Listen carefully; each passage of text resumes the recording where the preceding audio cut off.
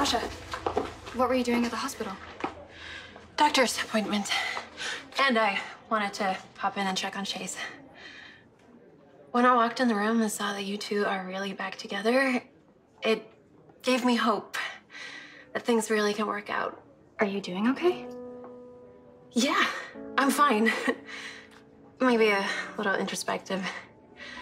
Michael and I are over, and um, it's for the best. But in spite of everything, you and Chase are making it work. Seeing that spark back in his eyes, even when he's so sick, it it's inspirational.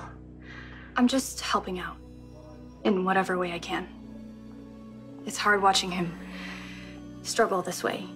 You know, Chase has always been so physically active. I know how scared he is. Well, knowing that you two ended up together where you belong, it's it's just a great big reminder that good things do happen. You two deserve to be happy.